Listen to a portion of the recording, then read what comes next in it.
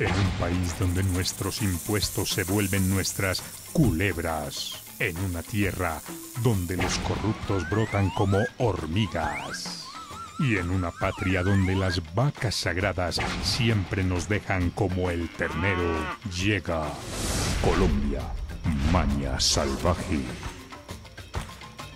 Hoy las especies de la selva política colombiana nos sorprenderán nuevamente.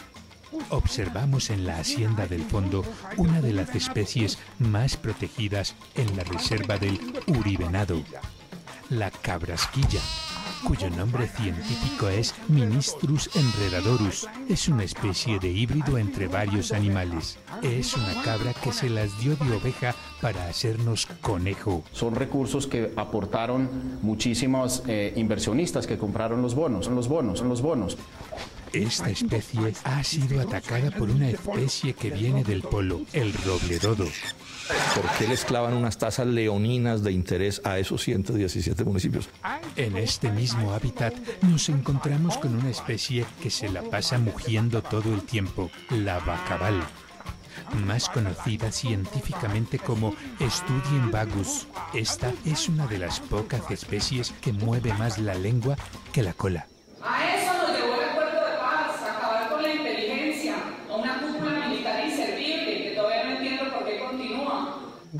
Siguiendo el recorrido por esta selva, nos encontramos con una de las especies que puede no ver muy bien, pero al parecer escucha todo perfectamente, el Benadetti.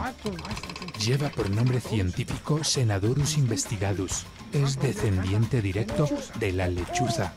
Lechuza el celular y lechuza el fijo. El Benadetti asegura que es una de las especies más perseguidas. Lo único que veo es que como se les cayó todas las mentiras, recuerden que esto empezó con Guati, Bonza, etcétera, resulta que ahora, ahora buscan al sexto eslabón de la cadena para sustentar todas las pruebas que se le cayeron la semana pasada. El Benadetti. El Benadetti es una especie afín y muy allegada a un mosquito que chuza, el jejen, el general guatibonza. Yo soy feliz con lo que hago, yo soy feliz con lo que hago, yo soy feliz con lo que hago. hasta aquí mañana salvaje, porque estos mosquitos están alborotados no sé si me están picando o me están chuzando. ¡Ay!